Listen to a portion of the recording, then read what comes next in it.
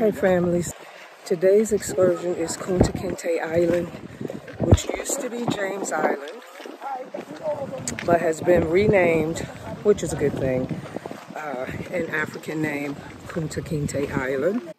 To get to Kunta Kinte Island, we first went to Banjul, and now you can see here we're going to take the ferry from Banjul over to Barra. Tickets for the ferry cost 25 dalasi per person, and the trip takes about 20 minutes.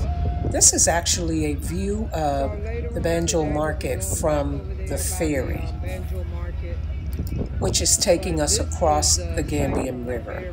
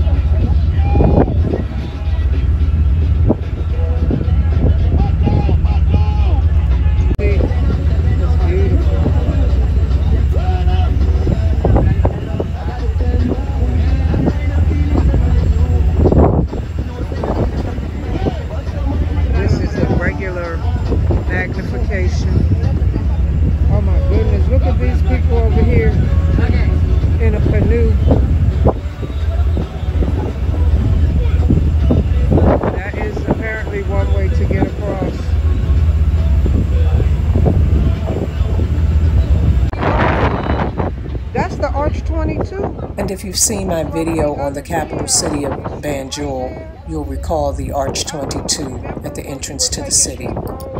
And here's a picture of another ferry, which is exactly like the one we're on. So now we're here at Barra. You can see, I'm going to zoom in. And so um, this is the River Gambia. That's why we saw people crossing on canoes. And of course, it feeds into the ocean, but nobody's ooh, nobody's so crazy as to try to take the canoe. But you can see the various canoes here. So this is definitely a mode of travel across the River Gambia. There is going to be a mad rush on the ferry. You can see the people just gathering already, like all those people we saw getting on will now be herding off. So there- Oh, the humanity of it all. And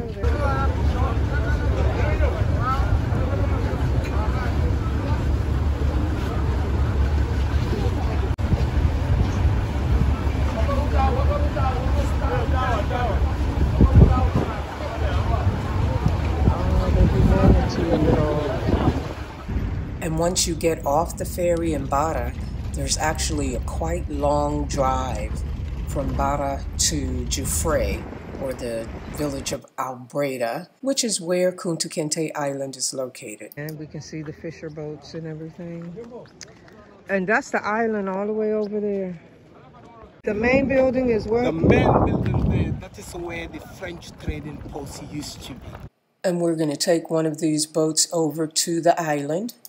So the boat ride from the mainland over to the island is actually quite long, and our guide was explaining to us that the French were interested in the mainland because that's where they traded salts and bamboo and other things, while the English were interested in the River Gambia because that's what they used to transport the Africans who were enslaved over to America and the Caribbean.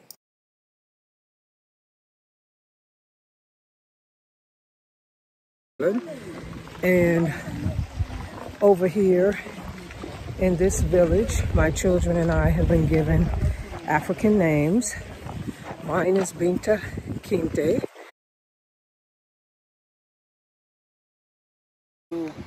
Receive a family of Binta Kinte on the island here with your children. Abaraka. Uh, Abaraka, this is a, a big impress to me. Maybe you won't know, but the way I feel happy today, uh, it's only me and God actually. My heart is full joyful, to be honest, of receiving you here. Especially when I see a moreover black like you. I did feel you are not tourists, you are not here on a visit. I do feel you come back to your motherland uh, to see ancestors. You welcome to the island of Kunta Kinte. You can see the island. Uh, by looking on your own, you will know actually because of the water erosion, the mm. island is getting smaller and smaller. This is three times bigger than the size we are seeing today. Oh. But because of the water erosion, all these were slave houses around the island here. Now this is where slaves were brought and they will put them here, you see. And behind us, if you look, you see three cannons there. That's the entry, that's the door. And the poles you are seeing, the festival I used to uh, this is where you will put the Gambia flag, the English flag here, because Gambia is colonized by English uh, on the 18th of February 1965 when we get the independence from the so here the guide is explaining to us that all of the buildings around the perimeter were slave houses and other things of that nature, and all of that portion has eroded, and all that's left is the uh, interior. And what they would like to do is have some mangrove trees planted around the island. For those of you who watched my videos on Lamin Lodge, you know that mangrove trees were planted there for the same purpose. So apparently that's a solution that they use in the Gambia for erosion. Yes?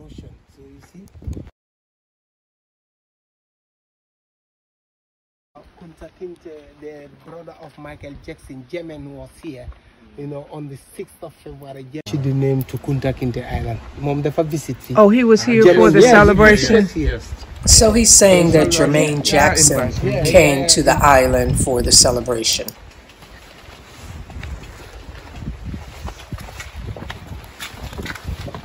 I think they should start working on buildings.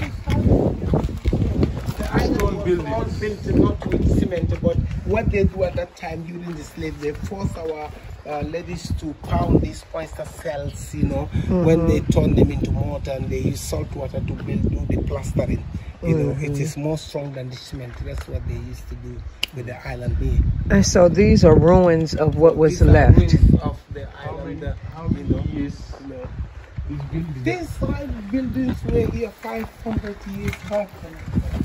Very, very strong buildings they found an empty land in the middle of the river Gambia and they start transporting these stones from the village with their dinghy boats, built a fort on the island here. They built a fort on the island. and that's primarily because at Baboon or Dog Island exactly. it was unfriendly? Yeah, like a dog island.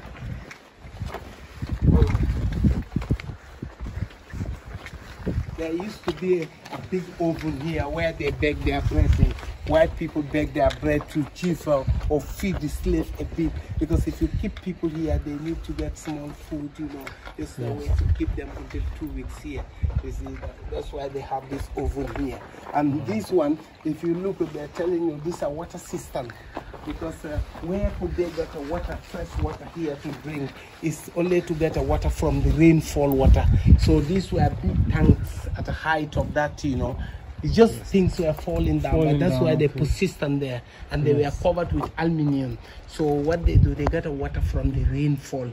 That water they used to give for slaves those water a little bit to keep their throat until they covered their two weeks here. They took them here from here to Gorée Island.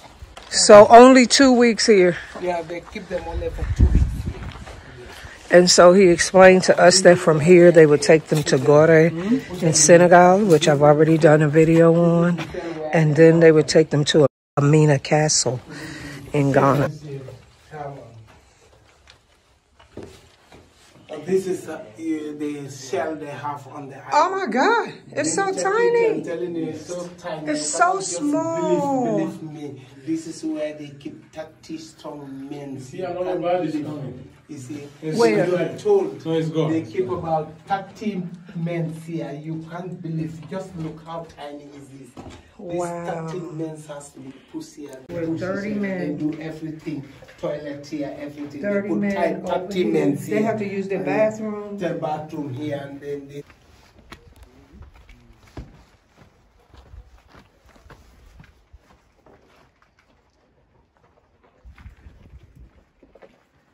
So This one is not as preserved as Gorée at all.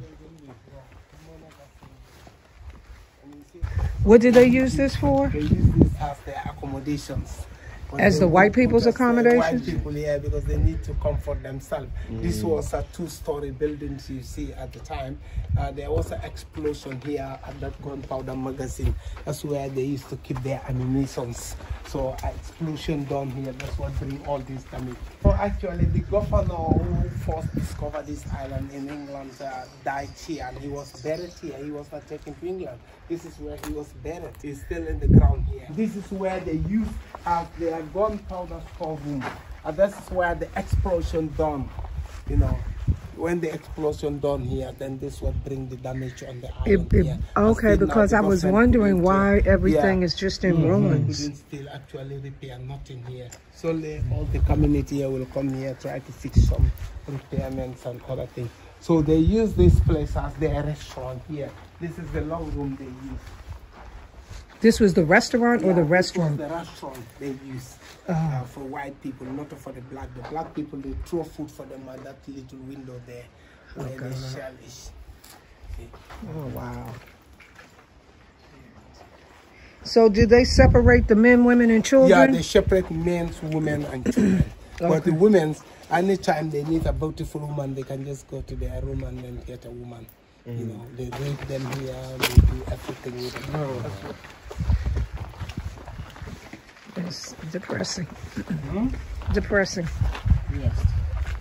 And so, what he's telling us here is that um, some of the Africans from Banjul, a large number, organized themselves to come over to the island, but they only had bows and arrows. They didn't have um, this sort of gunpowder technology, and the whites merely blasted them with the cannons and killed them way all. the 24 gunpowder arrow is.